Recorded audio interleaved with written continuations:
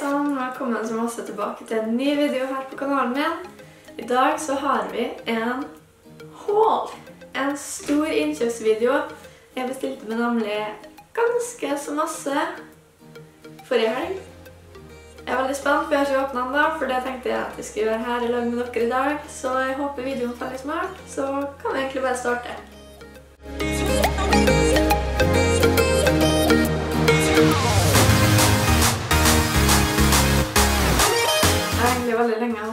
Prøve den originale beautyblenderen. Så når det var tilbud på så tenkte jeg at ja, ja, da kan vi nå prøve.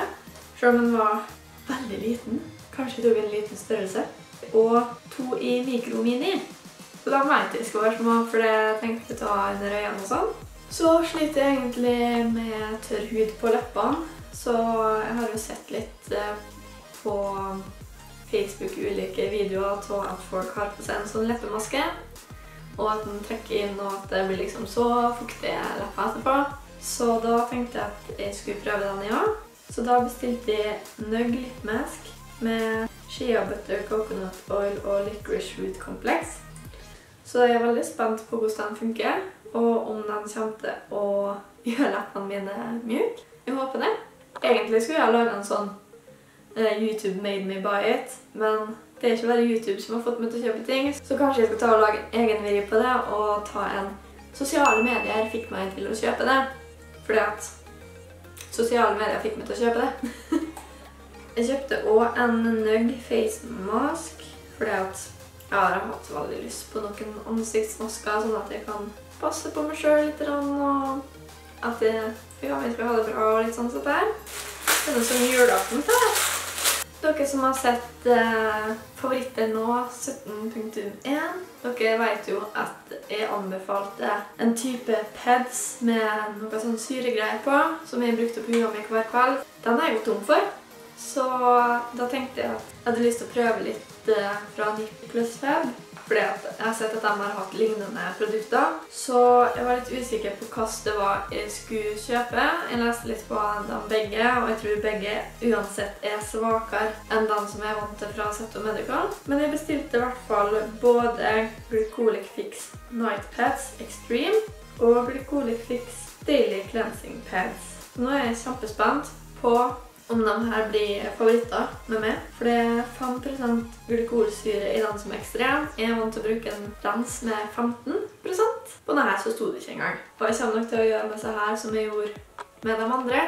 Klippene mine to, så varer de ikke lenger. Som sagt så hadde jeg veldig lyst til å kjøpe noen ansiktsmasker, og da bestilte jeg meg tre stykker fra Masquerade. Det er da I Don't Wanna Grow Up, All Nighter og Beauty Restore. Jeg tror jeg har prøvd Beauty Restore. Jeg vet jeg har prøvd Ann fra Masquerade, så jeg gleder meg veldig til å teste ut dem. Og det er jo sånn um, kvitt sånn lakengreier du putter på hua, så jeg tror jeg skal gjøre det mens typen er på jobb. Så jeg kjøpte meg et øyeskyggepalett som jeg har hatt lyst på en liten stund nå. Meet Matte Trimony. Jeg så en swatch av her, jeg forelsket meg helt, og jeg er ikke sånn voldsomt flink på å legge øyeskygge, eller flink til å bruke det ofte helt enda.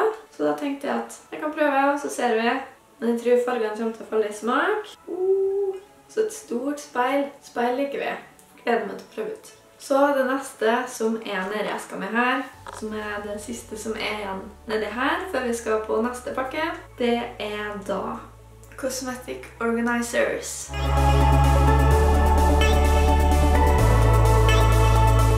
Nå skal hun bli organisert, skjønner du. For som jeg sa i forrige video, jeg er egentlig ganske ryddig av meg, men på visse felt så kunne jeg absolutt blitt bedre, og et felt det er, er da sminkeskapet mitt. Jeg har ikke helt fått et system som jeg er 100% fornøyd med etter å flytte hit. Så da har jeg egentlig sniffet litt rundt på de derne organiserne en liten stund nå. Så så jeg at han var ganske bra nedsatt på Makestyle når jeg bestilte. Så det var egentlig det hele ordren begynte med. At jeg skulle ha så her.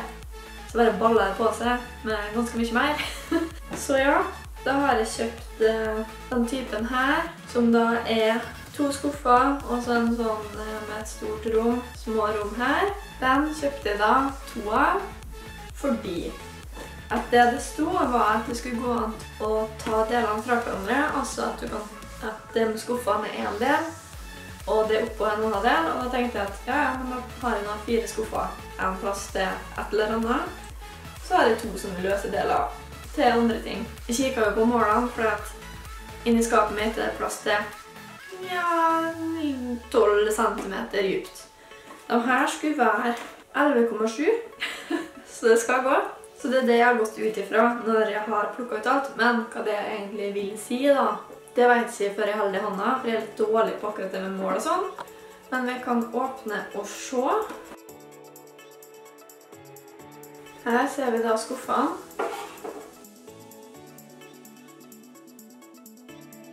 To løse deler. De får godt plass oppi skuffene som står stødig, som dere ser. Lover godt. Gleder meg til å teste. Tanken var at jeg skulle lage en egen organizing-video med dem her.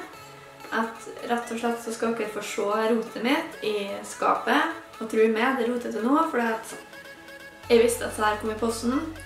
Da har jeg ikke giddet å rydde så mye der, for altså, alt skal ut og vaskes, og kanskje noe kastes.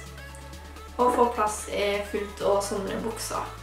Så gi videoen en tommel opp hvis dere har lyst til å se det. Jeg tror det kan være en kjempeartig video for dem som liker å organisere da. Eller bare er litt nysgjerrig og har lyst til å se hva det er jeg egentlig har i sminkeskapet mitt. Neste er en søt liten tass. Det er da litt samme konseptet som den forrige, at det er to deler. Og da er det en blank liten boks med en sånn eh, holder oppå med hår. Sånn er boksen. De her er 9,4 dyp, så de er litt mindre. Og da skal altså den her utapå. Eller oppi, da. Og det passer jo kjempebra. Det neste bestilte jeg også to av, og det er sånne avlange bokser med tre sånne som vi så i den forrige. Tanken er liksom at jeg skal få plass til pudder og litt diverse oppi dem her, så de har jeg da to av. Den siste det er da en curved organizer, altså at den er litt bua.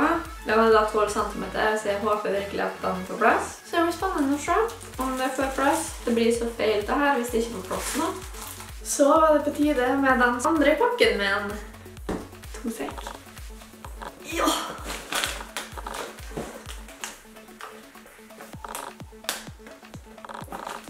Jeg har bestilt meg en Luvipop ringlight.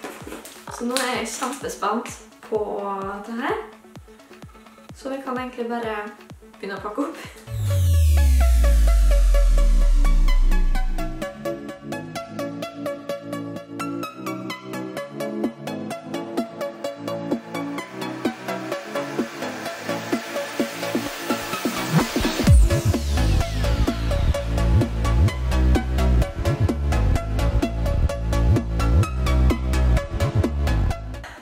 Så dere at jeg satte opp det nye ringlightet mitt. Gleder meg til å teste ut. Nå har jeg jo softbox fra før av, som står der. Og jeg har to til, som jeg også bruker. Men det blir noe annet å kunne putte kameraet rett inne i ringen.